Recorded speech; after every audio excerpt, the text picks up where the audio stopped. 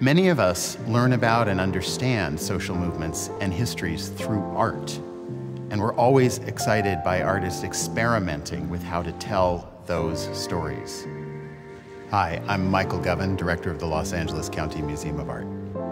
Monumental Perspectives explores current discussions around monuments and murals, representation, and American history.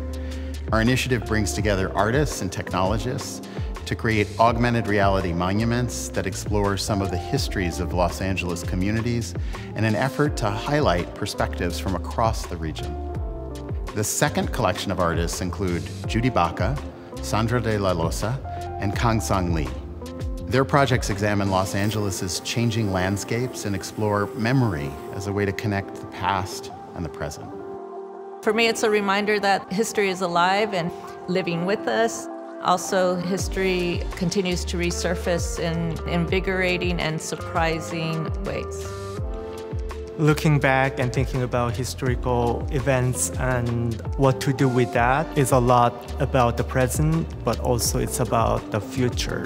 Thinking about what sparked the LA uprising, we can really talk about the social issues such as racism in this city and also in the US.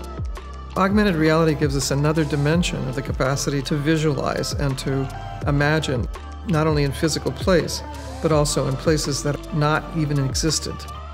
The tools that are within this augmented reality capacity is like having new brushes. Monuments tell specific stories about history, and this project is an occasion for artists and lens creators to engage with stories that need to be told and rethink how we consider history from a more inclusive perspective that will allow our future to be more inclusive as well.